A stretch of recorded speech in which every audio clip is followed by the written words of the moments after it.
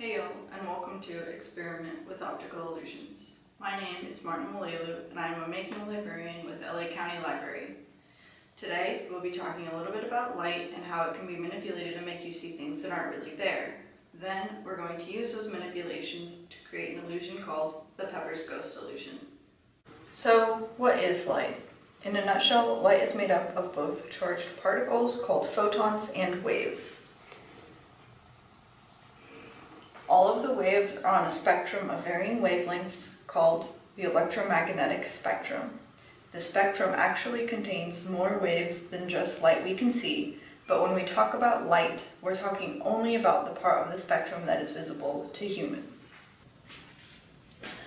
How does light make us see things that aren't really there? Illusions are created by manipulating light before we see it. One way it can be changed is by being bounced off of a surface. This is called reflection. An example of this is the reflection you see of yourself in a storefront glass or in a mirror. It can also be changed by going through a medium that is different than the one it was in before. This is called refraction. This means that light might start moving through a medium of air but changes speed and bends when it moves through a glass of water on the table. Refraction is part of what makes it look like your straw has broken in half when you put it in a clear glass of water. Light can be manipulated in other ways, but today we will be focusing on reflection. Now we will be using light manipulation to create a popular illusion called Pepper's Ghost. You've likely seen this illusion before. It's been around since the 1860s it was used to create holographic Tupac at the 2012 Coachella performance, and it is used in the Disneyland Haunted Mansion ride to create the Ghost Ballroom scene. These are both done on a larger scale than we're going to tackle today, but the concepts are still the same. To create the Pepper's Ghost illusion, you will need a CD case. You want to make sure it has a clear cover and a black back. You also want to make sure that it's not too scratched up so that you can see the reflection in it. You will need a measuring tool. You can use a measuring tape or a ruler. I have a measuring tape here. You will need a blade. You can use a craft knife or a box cutter. You will need a light source. You can use the light on your phone or a flashlight. You will need figures to create your ghostly scene. You can use two figures if you want to have a ghost and an observer of the ghost, or you can just use one if you just want to have the ghost. You will need a box this box is six and a half inches tall, ten and a half inches wide, and 12 inches deep. You want your box to be about this size. It needs to be able to fit the CD case, um, but you don't want it to be too big or else you won't be able to see the illusion, or if it's too small, the CD case and everything else will not fit inside of it. You need something to make the inside of your box black, and you can do that by lining it with duct tape. You can use black paper to line the inside. You can use cardstock like this. You can use printer paper or construction paper, whatever you have on hand. What I'm going to do though is I'm going to paint the inside of my box black. You will also need clear tape to hold your figures down. Um, you can either use packing tape or craft tape, either will work.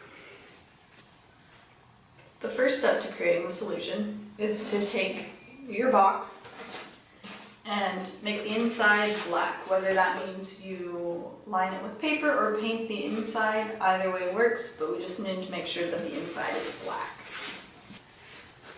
Once you have covered the inside of your box in black, whether you have done that in paint or paper or duct tape, we're going to move on to the next step. So we are going to Make a small X on the short edge of your box. So we have this long side and we have a short side, right? So on the short side, we want to measure up one inch and over one inch. And we're going to make a small X at that point. You can see that I've created a small X right there. Um, from there, we're gonna measure two inches out and two inches up. So you will end up with a box, a square that is two inches by two inches. All right, so we're gonna go ahead and do that and then we're gonna cut it out.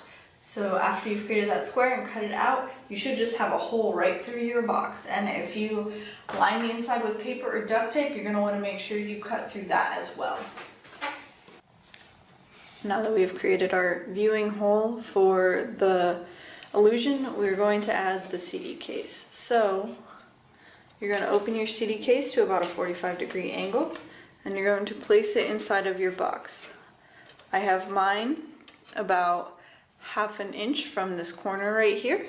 The black back is flush against the wall that is perpendicular to the hole. So the hole is right here and the CD case back is flush against this wall of the box right here. And I'm going to use my craft tape to secure it a little bit. You don't need a lot of tape, just a little bit, enough to hold it in so that it's not going anywhere. If you want to add a little bit more, that's totally fine, it's up to you. After you've secured your CD case, you want to place the figures in the box to create the illusion. So the figure that you want to be the ghost, you're going to place to the right of the viewing hole. And the image will be reflected on this CD case here. So I can now see this figure in this plastic when I look through the viewing hole. If you want to check it and adjust it, you can do that as you go so you can get the correct position for this figure. You can easily see the reflection of the figure that I have placed in the box through the viewing hole in the clear side of the CD case. So I like the positioning of the figure in the box right now, so I'm going to leave it as is. Now I'm going to place my second figure inside of the box behind the clear plastic of the CD case and now I can see that when I look through the viewing hole, these two figures will be interacting with each other.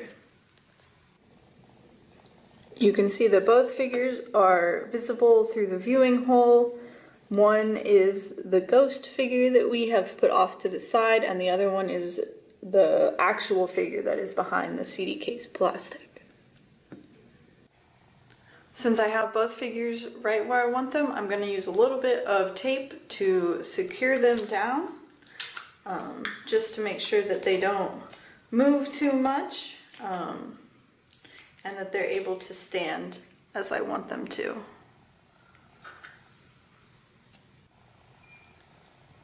To complete the illusion, we want to be able to see the ghostly figure when we close the box. So in order to do that, we're going to have to make sure that our ghost stays illuminated while the box is closed. So we're going to cut a hole here as well as here so that when the box is closed you can shine a light down over the ghostly figure. The size of this hole does not have to be exact but you want it to be large enough to where you can get a little bit of light through. So I've created my hole right here. It's about one inch by one inch. Um, and it's right over my figure that I'm using for the ghost illusion and I'm going to shine my light through here and the illusion is complete. And now you see the completed illusion with both figures visible through the viewing hole. I hope you have enjoyed Experiment with Optical Illusions. Click the link in the description to find out more about our upcoming programs. Don't forget to subscribe to stay on top of our new videos.